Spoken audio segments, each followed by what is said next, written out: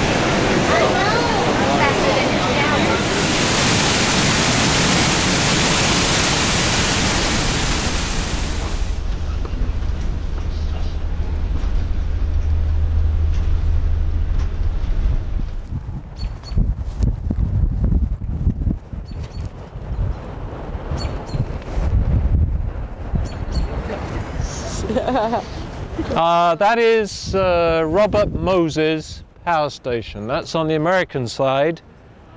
And the Adam Beck Power Station is just around the corner on the Canadian side. So they're taking water off, comes along, and then it gets put in a reservoir and it runs down. See the inclined concrete structures? That's the penstocks. There's a big pipe, big fat pipe inside that, and the water's flowing down turbines at the bottom, and that's how hydro is generated here. Anyway, you get a nice view of the geology. And you can see the trail at the bottom. I'm tempted to do that one summer. I think that looks. oh, it's, it's over there, you see. You like fully prepared for it. Now, why isn't there a trail on this side? There aren't It's less steep. that steep. Why? Why do we get this sudden widening of the gorge? It's rather straight there and steep. This is sort of got this cut out of it. And what's below us? What do you see down there? Underneath all big boulders. Yeah, where do you think they've come from? Ice age. Ice age. Laurentide ice. No, no. You guys, what are we looking at down there? This, what do we call that as a landform? There's a particular deposit down there. I'm just gonna say everything. Yeah, everything's a Well, all right, let's go back to your big blocks. How did those big blocks get down there? Ice, I don't know. Water. Ice, water, wind. What are we, what, Maybe the um the Erosion. well, what have we been talking about maybe the for the last hour? There and then it fell. Erosion. the What same- type of erosion? By water. Freeze. Can water move blocks that big? Water rounds blocks, so anything that's... Well, that, that, yeah, yeah, let's put that aside for a second. um maybe the, the same way like you No, were, there's you were no saying the, the top No. rock breaks off. No, the mid. Yeah, it's a huge rock fall. It's a huge rock fall. Look at the size of the area that contains these big blocks. It's huge. Like landslides and avalanches or something? Yes. Yeah, so this is a, a, a rock fall or rock slide would have happened, you know, a couple of minutes, where the whole side of the gorge just collapsed down. So all those blocks down there were part of that layer, the cap rock up here. This large landslide obviously post-dates, it occurs after, it occurred after formation of the gorge. Yeah. Which are. And you know roughly the age of the gorge here, it's probably older than 6,000, something like that. So So this has probably happened, the gorge, gorge No, happened. okay. right, get the sequence. Yes. I'm guessing it's 2,000 years ago. So it's happened in the last 6,000 years. 6,000. I'm off by four. I would just think. Right, so imagine that the falls are down there, Good. right? They're retreating back this way, you know, a meter a year. What's feeding the falls? The river. So before the gorge was here, this was, uh, you know, a plain with a river channel running this way, in which the old Niagara River flowed down to the falls down there. The river would be flowing this way to the falls, and the falls have have retreated through here, meter a year, leaving the gorge in its wake. And this is part of the old river channel. So the water, you can see how deep the water would have been, right? What's the average depth of uh, Niagara River when it was flowing here? How deep was it? That should be surprising. Your height. I don't know. Yeah, the height of that hill, yeah, exactly. Yeah, which is what? Um, here? I don't know, about eight meters, something like that, I suppose. Eight meter deep river, fast flowing. And so, so how did you know the river's here? It was, it was here? Um, well, it, A, you know there must have been a river to feed the falls, right? And there are shells that used to live in the river that people have found and dated. So they know the age of the channel, they know when the channel was occupied by a river. And also the landform. You know, we're looking at the Earth's surface and you can recognize different landscapes, and those landscapes are the result of different sorts of processes. So we talk about landforms, glacial landforms, fluvial landforms cut by rivers. And this, and this is an old fluvial channel from the Niagara River maybe 6,000 years ago. So what we're standing actually right now is a river. An old river bed. So if you were to dig down, what would you find? Water.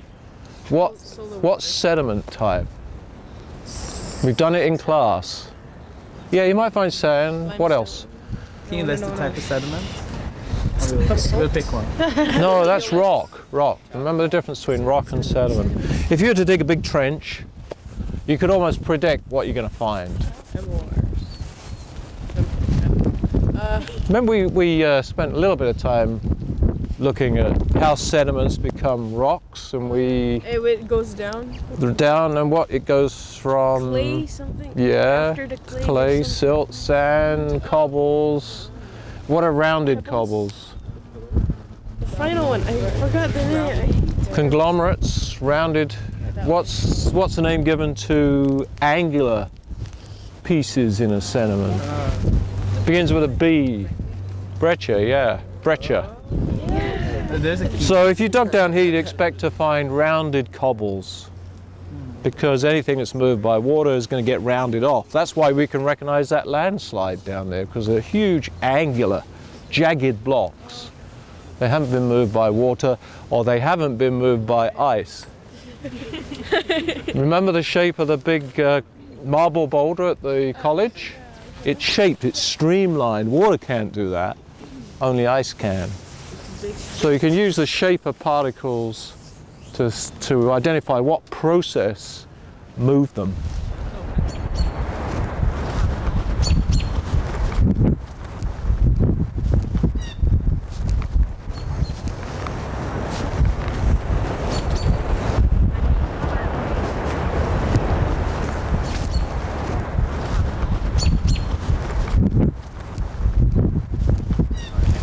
This is the cap rock from where you're standing all the way to the top. So it's this stuff that Niagara Falls, the river is flowing over, and it's pretty hard stuff, it's fractured, but underneath there's shale. So the shale, you know, as we've gone through before, uh, gets eroded, this then gets undercut, and then it all falls off. But this is uh, dolostone, very hard limestone, and um, being a carbonate, uh, it actually dissolves. And so we get landforms underground like caves, and, and they're referred to as karst, K-A-R-S-T, karst landforms, like subway tunnels. We looked through the window and we looked up to the falls and the water coming over. So you got the same process, this is weathering away, and then you get the major rock falls falling down. What caused this carve out at the bottom there? Uh, it's softer probably, you know, so it tends to weather back Softer cap rock.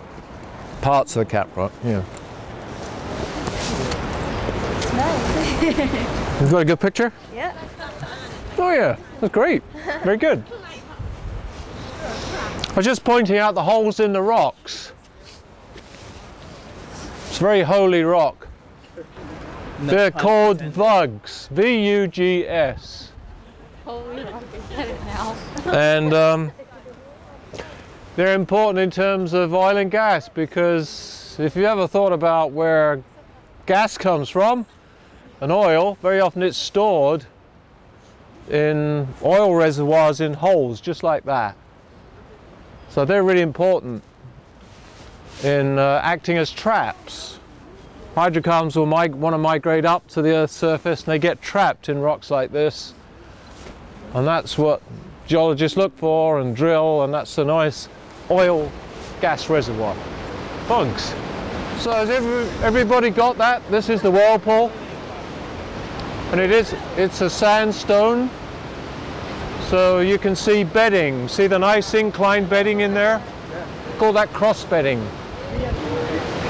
This is uh, what we call a fluvial river deposited sandstone. And um, that's the result of uh, ripples, bars migrating. So you're looking at a ripple that's migrating this way. So we can actually say which way the river was going. Now, remember I was saying that there's volcanoes, big deltas, flowing into the interior of North America? There's your evidence. Okay. The river was flowing that way, bringing sediment from the active margin all the way into the interior. So how, how long ago would it have been when the river was actually? Not this river, this is a very, it's not Laurentide either. This is um, 400 million years old. Beginnings of Pangea. So it's not this river that's done it, this is rock. This is very old. So this is again So this is whirlpool sandstone. Sorry? This is from Pangea. Yeah. Yes. This is the Shingle Belt.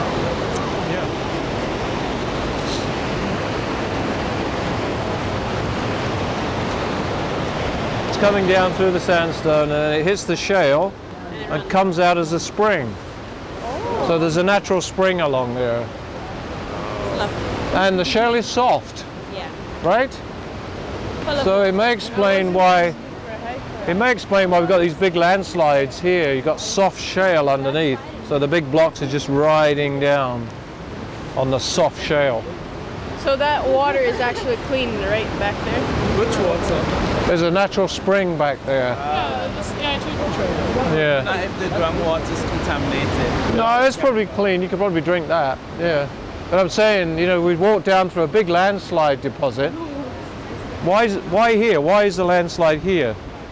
We maybe you got soft shale, you got springs, and the water coming out is going to soften the shale. Yeah, yeah. That's how that may explain it. May. No, yeah. you see more cross bedding? Yeah. Well, I, don't understand the cross-bedding concept.